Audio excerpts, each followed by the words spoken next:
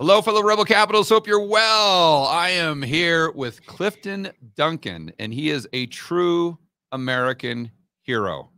Now, if you're not familiar with his backstory, uh, this is going to absolutely fascinate you, but it's also going to give you, I think, some motivation and some inspiration. So, first and foremost, Clifton, welcome to the Rebel Capitalist Show. Thanks for coming on. Well, thanks, George. Thanks for having me on. It's a wonderful invitation. I appreciate it. So before we went live here, I was telling you that I first was introduced to your story by our good buddy Tom Woods. This was probably maybe a year and a half, two years ago. And uh, this was, in fact, I don't know if I told you this, but the main reason I started this channel, because I've got two channels, and this is the smaller one. But the main reason I started this in 2021 was to push back against the mandates. Oh, really? Interesting. Absolutely, absolutely. So, on that note, can you kind of tell us your your backstory? What were you doing before 2020, and uh, you know, tell us how you stood up for freedom and liberty. Yeah, so I mean, uh, I'm you know I'm a shy, nerdy army brat, but uh, somehow I went on to um, get into this really what I consider the best acting conservatory with the NYU Graduate Acting Program. Got my MFA from there in 2009, right in the midst of the recession. So that that was fun. But um, over the next decade, I built up a resume working around the country, doing everything from musical comedy to Shakespearean tragedy. And uh, eventually I landed, uh, I was doing plays off Broadway, landed on Broadway in a wonderful comedy called The Play That Goes Wrong, which Tom saw me in. And, yeah. um, and then after that, you know, it was uh, started breaking through in TV. I was basically swimming in um, these major circles and winning praise from people like Stephen Sondheim, legendary uh, composer, and um, and lyricist, um, people like Joel Grey, you know, just Tony Award winning people. So basically, it, I was on the rise. Uh, finally, right. I, I, I, began I begun to broke through. Yeah, your or breakthrough, I should say. You were on that that that trajectory. Correct, correct. And uh, but then 2020 happened, and it was weird because you know I was in New York at the time, and I spent the first three months of 2020 being totally, totally into it. While, ever, while everyone else was focusing on Donald Trump's first impeachment. Um, I was stocking up on supplies and food and everything. Like I never had to scramble for toilet paper with grandma, basically. Um, but then around um, around April 2020 is when my mind began to change. I really began to ask questions, and I said to myself, you know, uh, we can't do this forever. And uh, I guess unlike all the other quote unquote artists, uh, I began to do a cost benefit analysis and, and, really question what we were being told uh, about the pandemic. And uh, I moved to Atlanta, Georgia, and that really cemented everything for me. You know, in Central Park, they were walking around double masked. Um, but then in Piedmont Park in, in Midtown Atlanta, you know, it was like a normal day. People are having cookouts. You know, right. the kids are running around playing. People are playing cards and and sharing beers and and all kinds of um, other substances. And um, that's when I was like, this is this is not. Uh, you know, and there weren't mass deaths. And I looked before I came uh, down here, and you know, you mentioned freedom, and I said to myself, because part of my objection was about, as, as, a bleeding heart liberal, really was about, you know, and an artist, you know, what are we doing to people? How are we affecting them psychologically and spiritually, even? Um, so then March 2021 came around, and that's when the industry wide vaccine mandates began to come out.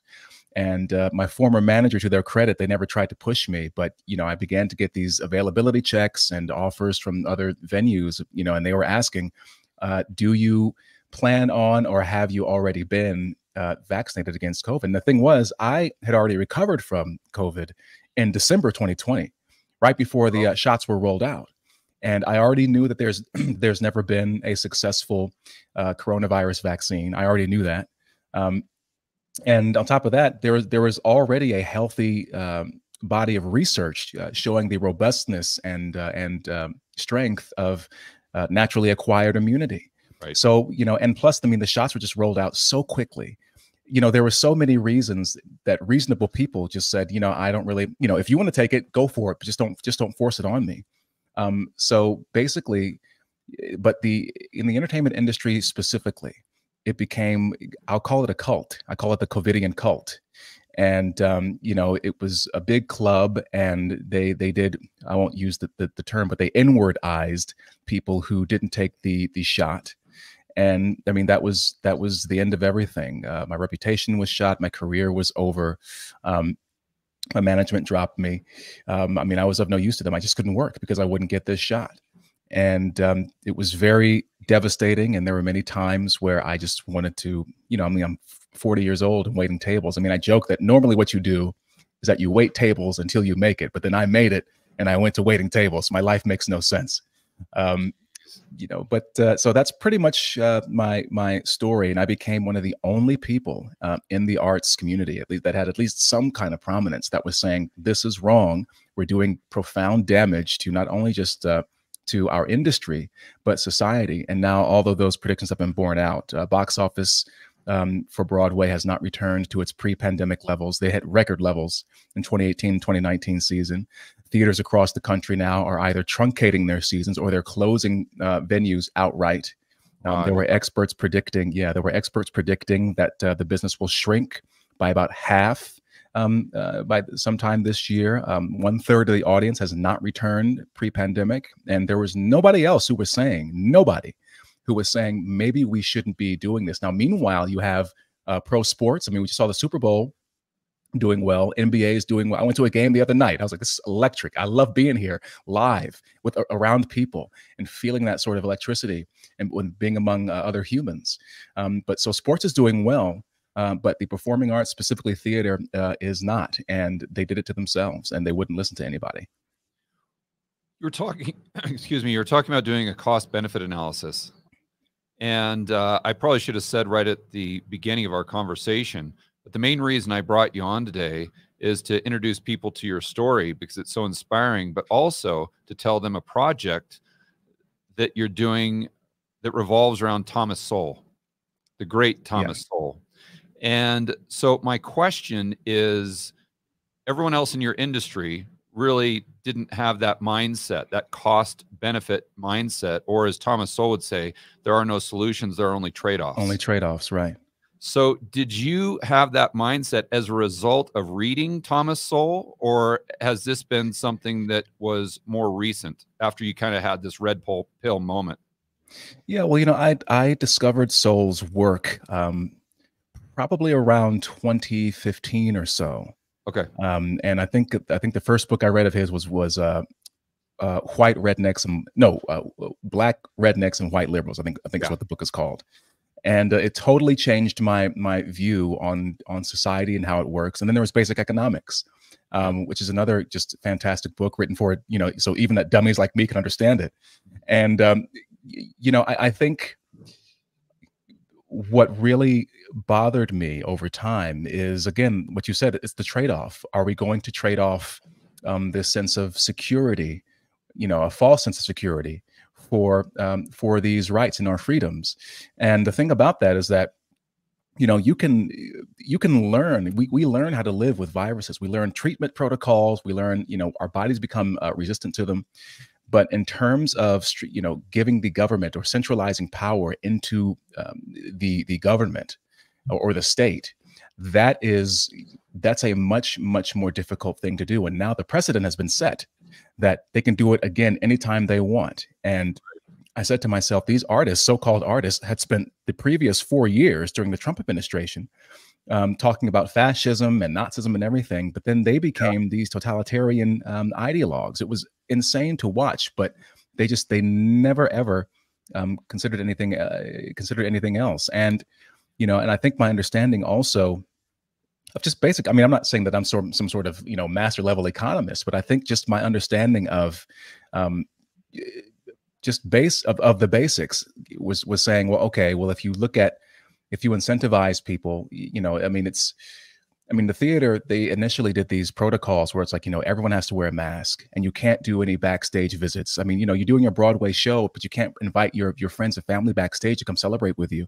They said you can't do stage dooring anymore. That's a part of fan service, right? It helps the culture where you you come out of your show and people are there with their playbills. They want to be, they want to talk to the actors. They, they want to, you know, they want, you know, they want your signature and all that other stuff. And so I said, okay, so we're giving up um, all of these aspects that make the theater worthwhile to not only participate in but to come to and we're doing it for a a virus that has a over 99% survival rate um, so again looking at trade-offs what are we trading off what's the mm. cost benefit and um, and no one was able to have this sort of mature conversation about yes, you know, some people are going to pass away, and it's very unfortunate. Um, but we also have to a life has to go on. We have to weigh uh, what life is going to look like for the people that are still here. Um, so you know it was it was really a it was shocking to me. It was just shocking to me that it seemed that nobody at least publicly almost nobody um, had any kind of mindset that would that would say to them look you know we are we are artists especially in new york city right? It's it's like the cultural center of the universe. And all these artists were saying that we're not essential how how does that even work i mean as much as you know one of the first things people do when they come to new york is like they, they say let's go see a broadway show so the performing arts people come from all over the world to both to see and to be in shows in New York City. How is that not essential? I used to do that all the time. There, there you go, there you go, and they and they don't realize that uh, that you know, I mean, it's it's part of the it's it's part of the cultural identity of the city is yeah, its arts you know what i mean? I mean even the museum business right? It's just it's cutthroat there. No one's messing around in new york city. And so the fact that all these artists sat back and said we're not essential. We're less essential than the, the corner liquor store um, was was really shocking to me. And i think now they're bearing the fruit of their short-sightedness unfortunately. Yeah i think it's even more simple than that right? You don't have to read any of thomas sowell's books on economics to know that if you completely shut down the economy for a year, that's probably not a good thing. Well, like, can I can I, well, can I cut in because because and that's what also pissed me off, right? Because they called you selfish, right? If you said we should focus on these things, first of all, these people said, you know, you're putting uh, if you focus on the economy, you're only putting profit over people, which is, you know, I guess Pfizer's profits were were fine to put over people, but that's that's aside the point, right? what you were saying the whole interconnectedness, you know, the sort of ecosystem.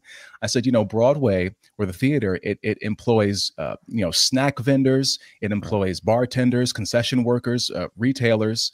Um, the businesses in the surrounding area get all that foot traffic, right? So at 6 p.m. or so around in Midtown Manhattan, you know, all you, you, see these lines, people trying to get tickets, but there's like souvenir shops and bodegas and restaurants and delis that in the surrounding area that get that benefit if Broadway's doing well. And so it's not just about you all, it's about the entire sort of ecosystem of, of New York. And like you, we are, or I should say they, these performers are essential to that. And the fact that they could, they didn't understand what that, they don't even know what an economy is. They just couldn't get it. So it's, it was just so bizarre to me and frustrating. And unfortunately, the, the fast forward even to today the poor and middle class are disproportionately paying the price for those lockdowns from a standpoint of consumer price inflation. You know that's that's one thing that i do get into quite extensively. And uh, one of the main reasons we saw the cpi go up to 9% which understates inflation back in 2022 is because of the supply chain disruption. So you've got a person that's making, let's say, just working um, or living paycheck to paycheck. That 9% inflation or 15 or whatever it was is going to have a massive impact on their overall purchasing power and their standard of living. Whereas if you're making $250,000 a year, okay, a 9% bump in your grocery bill isn't really going to affect you one way or the other. And that's something that people are going to be paying for for unfortunately for a long time to come in addition to all the other economic distortions that you were referring to. Yeah and it was so offensive to me because you know i would see these stories about gym owners restaurant owners um, you know salon owners barbers or whatever who were fighting their own governments to stay open and feed their right. families and you know and take care of themselves. Meanwhile these pretentious pampered quote unquote progressives were demanding the government pay them not to work. And I'm saying to myself, you know, I mean, I never supported the uh, the stimulus bill because I'm like, we're printing all of this money, and that's going to have uh, uh, effects down the road. And now, at a, at a time where you know, I mean, I want, I think theater should be for everybody. The arts should be for everybody. It should be accessible to everybody. And what they've done with um, again their short-sighted policy is uh, you know now people can't even afford to go to theater which was already expensive in the first place so you've made the theater even less accessible to the people that you most want to be in the theater. You right. know what I mean? They just they they they couldn't they they didn't think about any of this stuff. They didn't think about any of it because they just don't know. And I I, I don't want to use um, derogatory terms, but it's just uh, you know it's not they're not the sharpest tools in the shed. I just have to say that. It's just it's you know, and the fact that they couldn't think about that, and now they're wondering why people aren't at their shows. Well, I'm sorry, but you know, it's people. People would if they if people could choose um, in terms of entertainment between staying home and watching Netflix, which costs them, you know, $15, 17 dollars a month versus paying 50, 60, 70, 80, 100 dollars per ticket to go see a Broadway show or an off-Broadway show. Guess what they're going to do when they're already paying more for gas, utilities, and right. all other consumer goods? Like they just they they don't understand any of this stuff. And if you try to explain this to them, then you know you're some you're some capitalist uh, right wing maniac. They just don't get it. They don't know anything. It's so yeah. it makes me so you could tell it makes me really mad. well, it goes back to Thomas Sowell, and he always talks about unintended consequences. Right, or what emerges. Yeah, all you got to do is just do some trade offs, simple cost benefit analysis. Look at the um, uh, look at uh, the unintended consequences, or it just acknowledge that there could be unintended consequences to something that extreme for heaven's sakes. And then the other thing i would add is the slippery slope. When even eh, when i was debating people back during that time frame even if they had a level of uh, of uh, a level of intellectual honesty let's say to where they would consider those things they they would never look at okay well what type of precedence does this set for the central planners and the government moving forward? And the example that I would use and i don't know if you, you've heard this you might find this interesting is the example of 1905 and this it was um, right the top of my head is either jacobson versus massachusetts or ferguson. I think it was jacobson versus Massachusetts, where uh, they basically uh, said that this guy was supposed to take uh, a vaccine and he didn't take it. So they didn't force him to take it, but they made him pay like a what was the equivalent of like a hundred dollar fine or something, you know, during a, a smaller pandemic of that time frame. And so what happened is he said, "Fine, I'll, I'll pay the fine." That's why he took it to court. But then if we fast forward to, I believe it was 1927, it's either 27 or 29, and that's when they had the ruling for Buck versus Bell.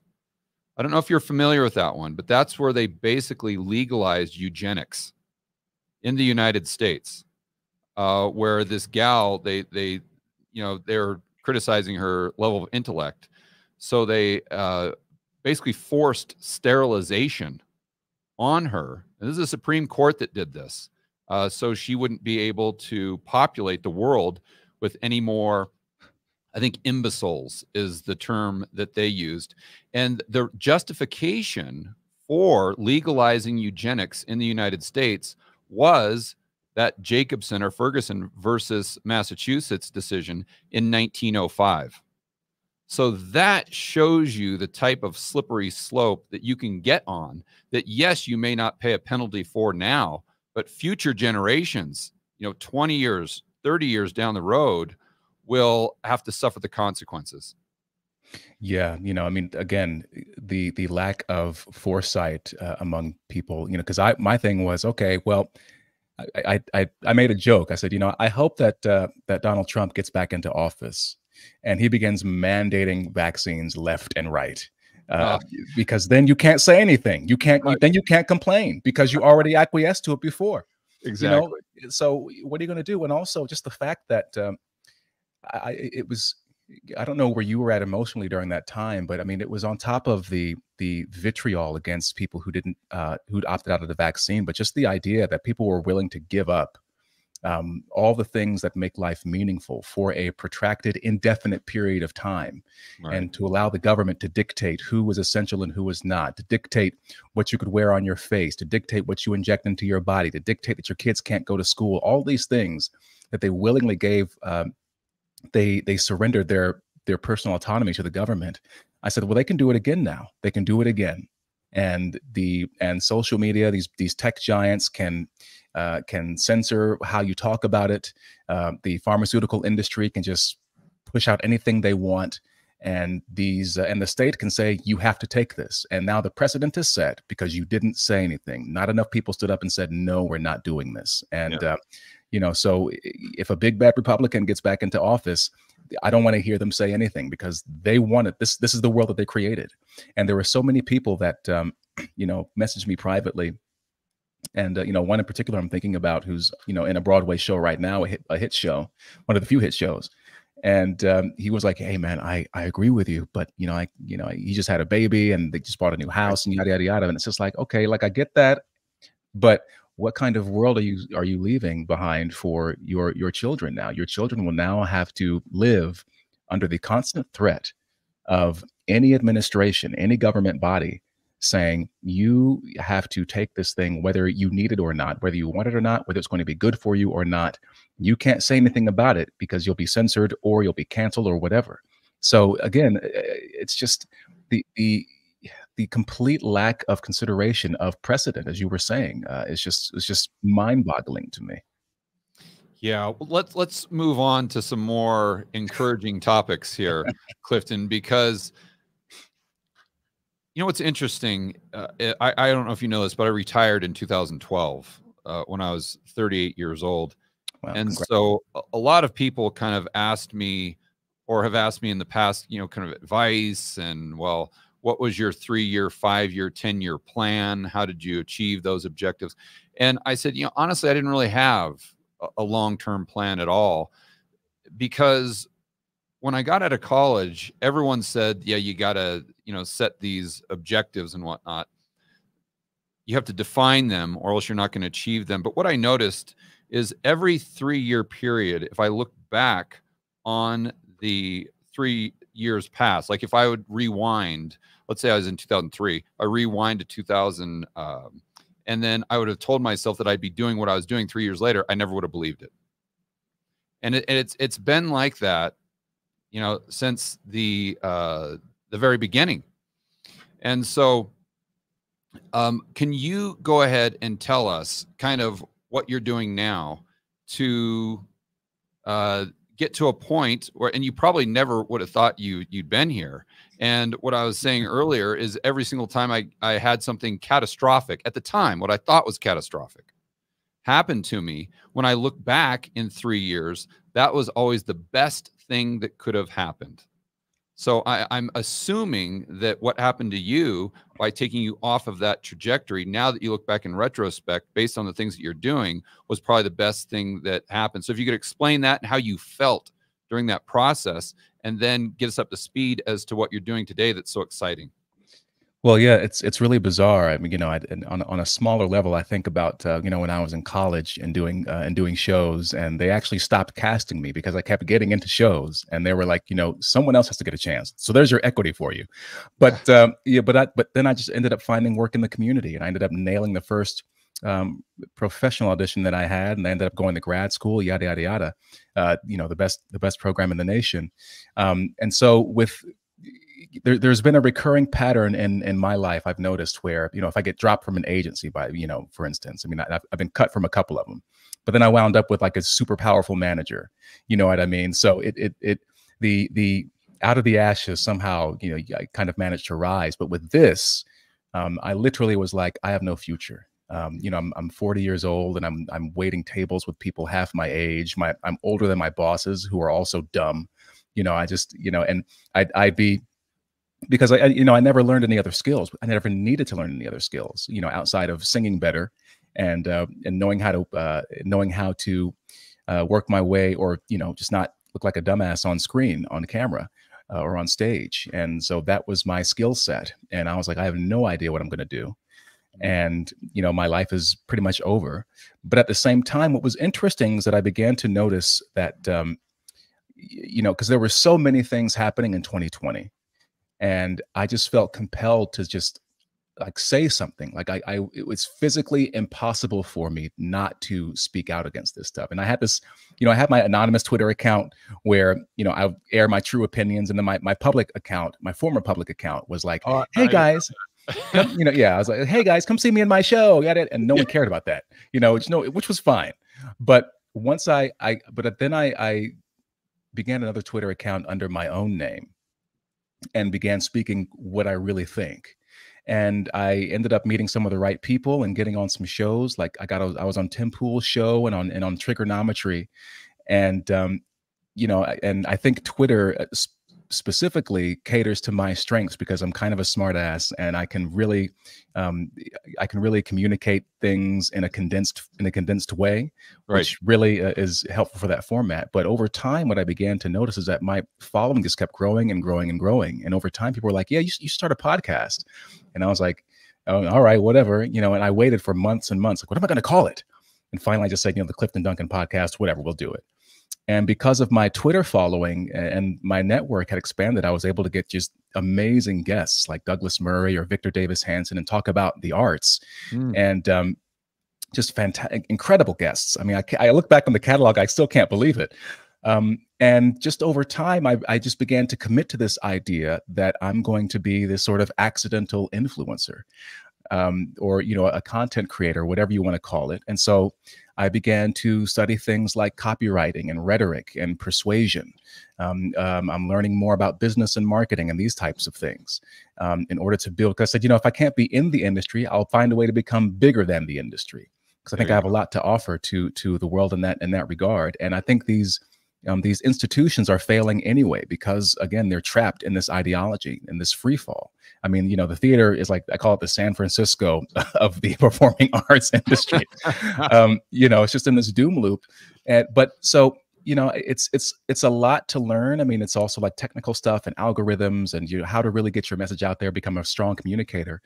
And but at the same time you know in my training program at NYU, uh, the graduate acting program, at the end of the of the three year program, they have this uh, pro they have this not really an assignment, but it's sort of a festival called Free Play, and it really is a platform. If you want to think of it as maybe a dissertation, uh, maybe the equivalent, that's kind of that's kind of fine. But you know, I had classmates who wrote a whole musical.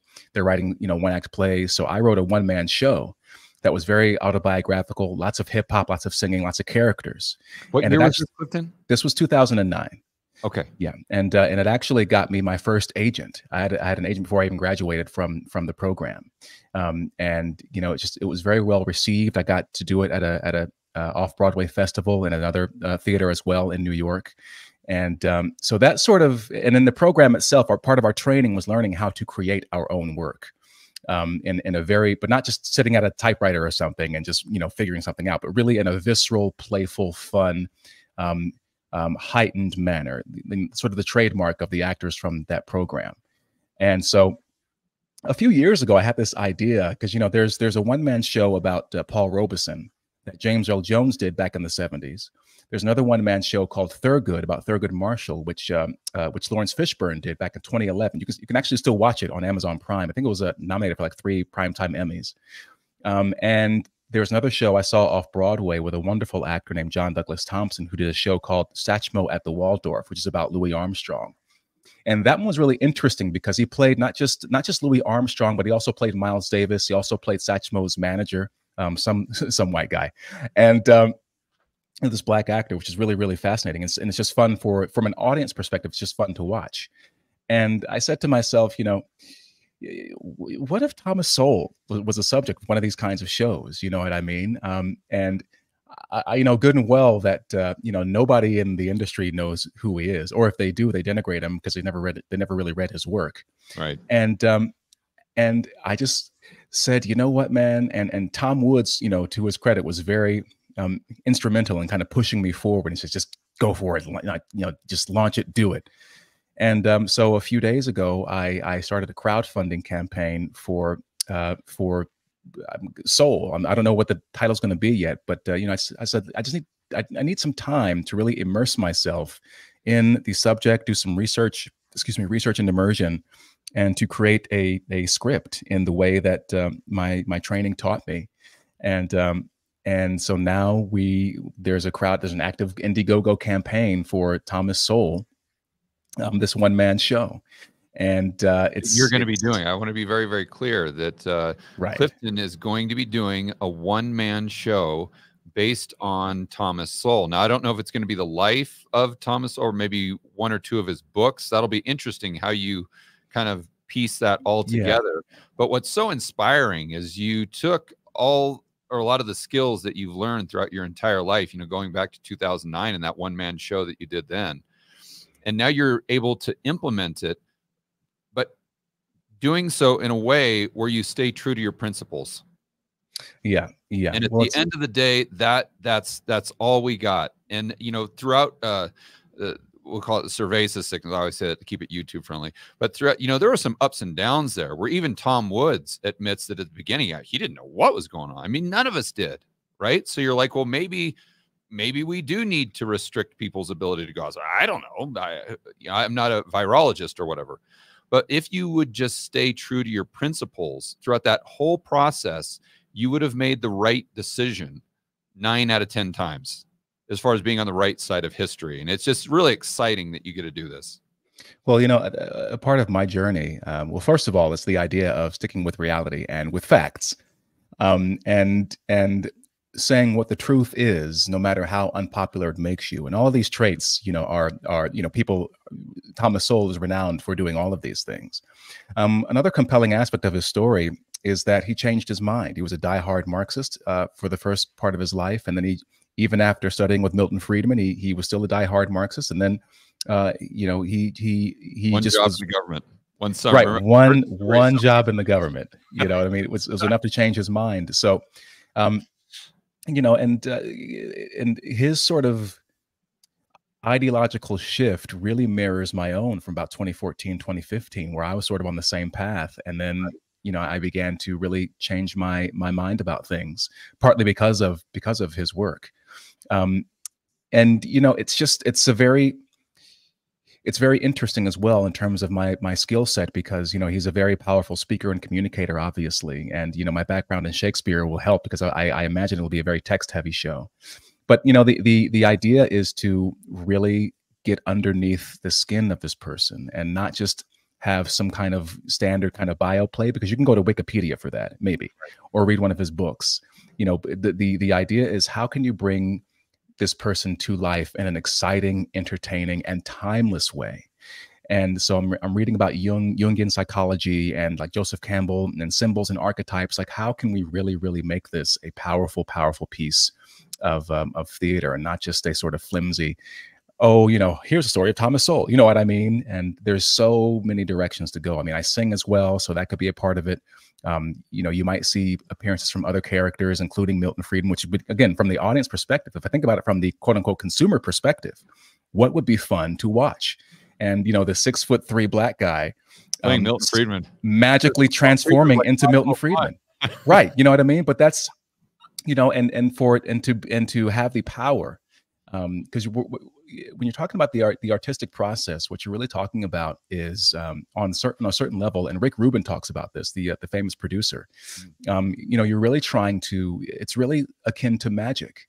And how can you build that illusion for people that wow, this person really is making me believe that they're Milton Friedman. They're making me believe that they're Thomas Sowell. Um, yeah. You know, there's there's you know Clarence Thomas might make an appearance. The belief is that the technical term for it, like movies and whatnot the, the suspension of disbelief correct? That's, that's right right. Yeah yeah um, and uh, so there, there's so many ways to go. And also just in terms of um, i mean he clashed his belief system clashes a lot with um, you know our, our modern civil rights leaders. So yeah. you know might michael malcolm x might make an appearance mlk might make an appearance uh, jesse jackson al sharpton all these kinds of people. That there's so much as possible in, in terms of contrasting you know who who Sowell is and his own development and his life versus you know wider society. So there's there's so many ways you can go that will make it so much more interesting and impactful than just a standard like this happened and then this happened and then this happened to him again and then this happened you know what i mean? So i'm, I'm really um, i'm really really excited about just diving in and seeing how i can use all of myself and all of my skills and uh, to really create something that's really um, um, that's very memorable that's going to be awesome. I don't know if you know this, but his he he always says that his true passion in life was photography. Oh, interesting. So he, he's got the soul of an artist, basically. yeah. yeah. in fact, I've heard him say on multiple occasions that if he had it to do all over again, he, he might have actually chosen to be a photographer instead of an, uh, an economist. That is fantastic, and and again, it's just a wonderful piece of um, of it, it's something that that really humanizes him and gives him depth and dimension. I mean, I love. There's also the story which I, I haven't read about yet, but um, you know, of, of, him, his children or one of his children was um, was a late talker, hmm. and mm. there's something about that that's so humanizing. We think of this person as this sort of intellectual giant, but he's got this this this obstacle, right? Part of drama is the obstacle. What do I want, and um, and what's in my way, and what do I do to overcome it? So there's all these humanizing aspects of his character, which you know you can draw from to to again give the piece. Um, it's not just the x-axis, right? It's the y and the z-axis to give it depth and scope. Um, of, of, the character. So there's so many possibilities, and uh, you know, I'm just really looking forward to diving into all these kinds of stories and um, and how you can make a really um, really exciting piece of theater and share it with it and share it with everybody. That's that's the that's the other key point is sharing it. Yeah, Clifton, I apologize for looking down at my phone, but I really want to share with you. I mean, there's so many just incredible quotes from from Thomas Sowell, which I'm sure you've read. But there's one that I uh, I should memorize it, but I always just put it on my phone and read it just because I'm lazy. but this, I think it really pertains is one of my favorite quotes, but it also really pertains to what you had to experience in 2020 and 2021 due to these central planners, authoritarians, basically people who thought they were smarter than the dumb rubes in society, the average Joe and Jane, that they weren't capable of making their own decisions. So we, the global elite, need to do it for you. Here's Thomas Sowell. There is usually only a limited amount of damage that can be done by dull or stupid people. For creating a truly monumental disaster, you need people with high IQs. Yeah, yeah. But there's another variation on that where he something about uh, you know high IQ and low information is a very deadly combination. Yeah. Um, you know, and and just going back a little bit, you know, once I reading a work like A Conflict of Visions, which Sowell said is one of his most important works, it really, yeah, really constrained. It's it's uh, it's it's one of those books that really highlights why the response to the pandemic turned out the way that it did. Yeah. Because people on the ground were saying, I don't know. I mean, here in Georgia, they were like, yeah, I don't know. They, they seem to kind of be hyping it up. And like, you know, the the the you know, the the the plumber that that I have come by, you know, smart guy, he got it right away and was like, "There's something off about this." Right. But all these quote unquote elites, I call them garbage people, but uh, you know, quote unquote elites, um, just couldn't get it, and they thought that they were smarter than everybody else, and they didn't trust the sort of cumulative knowledge um, of the masses. They they said, you know, we're going to put all of our faith in this sort of unconstrained vision into all these experts and and these sort of this sort of unelected clergy of people.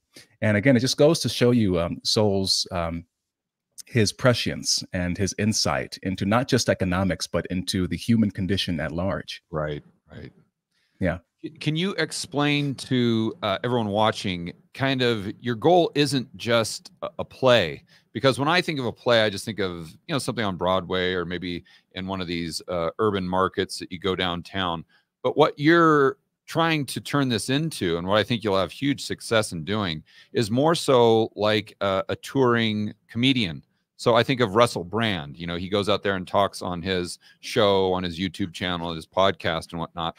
But he's doing that in a way to promote his stand-up comedy, or then he goes to uh, you know Town XYZ on Monday night, then Town ABC on Wednesday, then Friday, and you're going all around the United States, uh, almost like a stand-up comedian doing this incredible show and introducing more and more people to the ideas of Thomas Sowell.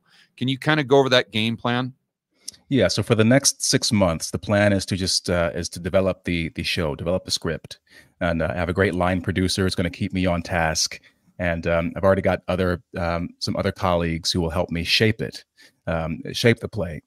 and what the plan is after that is to tour the show around the country. There's already been multiple people who said, you know, come do it um, at this theater, come to, come to this town. Because what happens is that the audience is who teaches you how to do the play.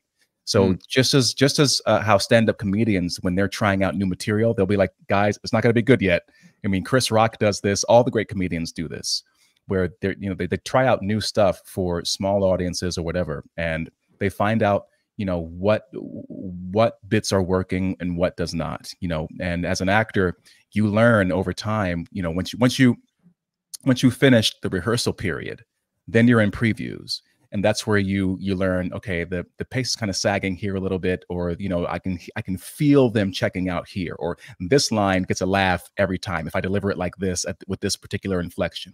Yeah. so you learn these little these little bits of nuance and also just the the, the sheer repetition of, of doing the show. You get more skilled at doing it. Yeah. Um so and what's great is that um i i would love to tour it around to uh, you know a bunch of various towns because what what happens is that um, you you not only build momentum and people are talking about it, but you're also getting them excited to come to theater again, which they've been um, they've they've been pushed out of for the past decade, really, due to politics. And um, so the plan is to tour it, and then once it's nice and honed, then upload it to the internet for the world to see. Mm. And uh, that's the most exciting part because then a you've already toured it and you've already sort of built word of mouth and momentum by it uh, about it. And then you know you've gotten it into the the tip top shape that you that you can you know put it in. You're, you're revising you're editing you're you're you're, you're figuring it out.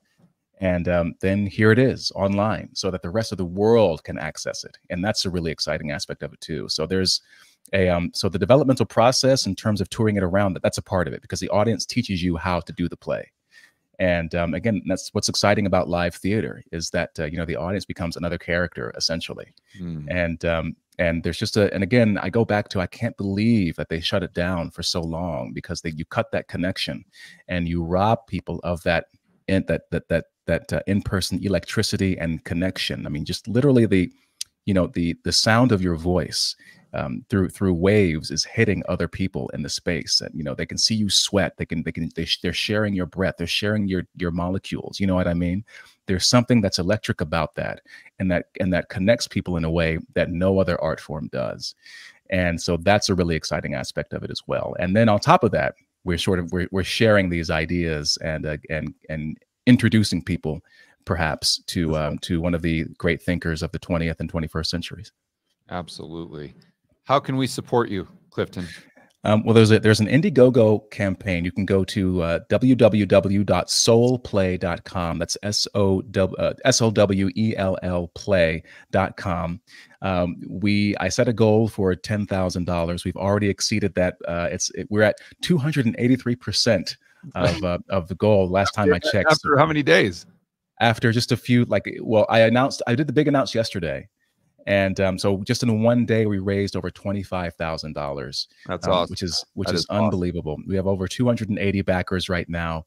Um, you know, and if you you know, there's different tiers. There's a hundred dollar tier, uh, five hundred dollars, a thousand, and five thousand if you want to be a co-producer on it. Um, but if you can't pay that much, you know, you, you can sign up for my um, my Substack, which is uh, uh, the state of the arts. That's cliftonduncan.substack.com. You can sign up at locals as well to um, to keep in touch. So you know there, there's a bunch of different ways. And I'm really and people people have left comments and said, you know, I can't give much right now, or I can't give anything. And I'm saying, you know what, man, your, your vibes are good. We got a lot of we got a lot of people uh, support already. Um, and the the goal really is it's beside the money. It's really about just getting people on board and and sort of participating in the process of a of creation of a new work. So there's so much support right now. I can't, I almost can't believe it. Um, I almost don't want to think about it too much because, uh, you know, it becomes a, a daunting task. You got to put the money where the mouth is. But just the fact that there is such widespread support, not only for this particular project, but it's also great because people need to invest more in the arts. Um, and you you can't complain that the quote the quote unquote left or whatever is you know owns everything, or you can't right. complain about the the direction of the culture without without um, without investing in people who are creating a new culture. So it's it's exciting on many many levels, definitely. Absolutely. Well, and I was just going to say, and it shows your fellow performers that they don't have to make a decision as to whether or not to follow their principles or keep their job. They, they don't have to make that decision anymore. You know, they can give the the establishment the middle finger if they want because they know that they can still put a roof over their head or put food on the table.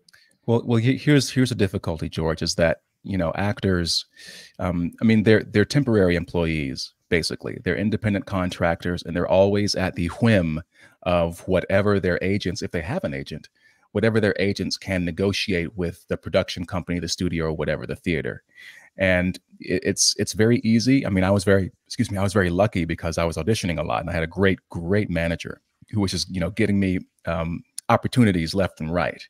Um, eh, but the thing is, you can become very passive in that in that kind of life. And what and what most actors do once they reach a certain point is, you know, they might be living off of residuals from television work. Um, you know, they might do a concert or or a developmental reading here and there, but a lot of them just take um, unemployment benefits and they live on those. And um, you know, I stopped doing that just off of principle because I was like, you know, I'm going to try to force myself to kind of figure it out. And right. luckily, I was able to do that. But um, so basically, like there's a great author named Michael Shurtleff who wrote a, a book called Audition, and and one of the one of the standout lines is that 80% of actors are lazy, and are lazy are lazy. Okay, and it's I mean, and it's just it's the truth, really. I mean, I, I hate to say that, but but it is. You can be very passive and sort of you know i think the people who are at the, the top and stay at the top for decades they're they're very hardworking but those that's why they're the top kind of you know one or two percent of the industry. That, that, that, those are your DiCaprio's, your Denzel Washingtons, mm-hmm. you know, so on and so forth. Your Tom Cruises, so on and so forth. You know, th- there's a reason that they're there and they stay there. You know, Clint Eastwood's another example of someone who you know really made his own career basically. Um, but most people just don't have that drive, and you know, and the older that I got, especially, I, I got kind of tired of being sort of you know told what to do because there's a, this huge pressure to like you know to conform and to like be nice and to be liked because your reputation and your relationships are very um, are you know sort of help build and sustain a career and right. if you're considered difficult or whatever then uh, that can cause real problems for you and when you're talking about an industry that's been completely ensorcelled so to speak by this one ideological perspective um, that just is completely that, that that that keeps moving further and further away from reality then that becomes a problem for you and that's and that's why i think people had to sort of they sort of conformed to all of the um, the pandemic protocols because they were already demoralized from having to accept things like preferred pronouns and these kinds of things so um you know by a thousand cuts death by a thousand cuts to, to the psyche to the spirit to yeah. one's sense of truth and um but when and but for years I've been like, what if there's another way to go about it? What if there is something else? You know, what if everyone else is doing it wrong? Because what happens is, you know, you you graduate from one of these programs, and you know it's lucky because you're you're you're up on the ladder a little bit um, as opposed to everyone else because you have all these major casting people and studios. I mean, I was taking meetings with like Warner Brothers and and CBS and everything before I got out of school, but um, you're still at the bottom of the ladder, and people just say, you know, take a number, get in line. Sooner or later, your competition dies you know it's, it's, as much about timing as it is about talent you know these kinds of things. And i'm like dude what if there's another way to go about this? And yeah. i began to see just looking online my favorite youtubers were kind of you know building their own um, building their own businesses. And i had friends who were like yeah you know I, I had a screen test for this role but they gave it to some bimbo with 2 million followers. And i'm thinking to myself that could be you. That could be us. You have mm-hmm. the looks the, the the charisma the training you know but uh, there's a real snobbishness uh, or snobbishness about this and they say you know i don't want to i had an ex-girlfriend who said i don't want to get famous like that. And um, i'm like well maybe you're unemployed now but i just raised uh, five figures by um, by putting out an offer um, of something people actually might want to watch. So while and and while the industry is failing at large so you know if i could maybe be a, a model of a new way forward um, for artists um, then that's kind of cool as well. Again i mean it wouldn't it it, it would uh, it would make just as little sense to me as everything else that's happened. So.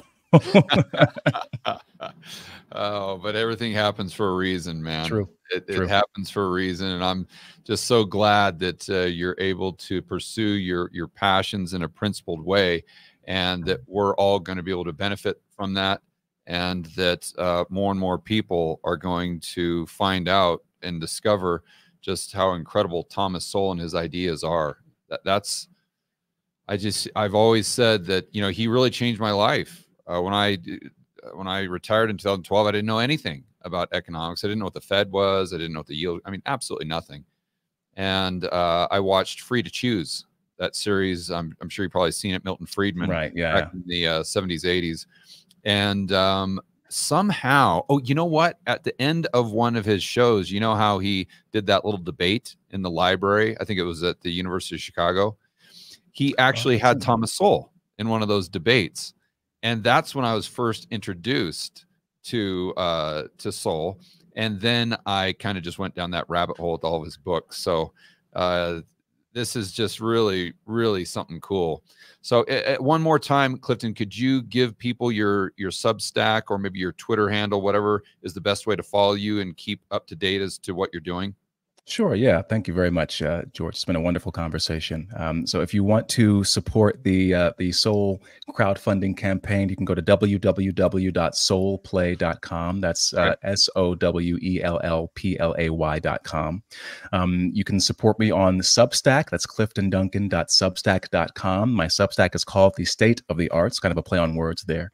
And uh, you can find me on Twitter, which is my largest platform. Um, at uh, it's at Clifton A Duncan.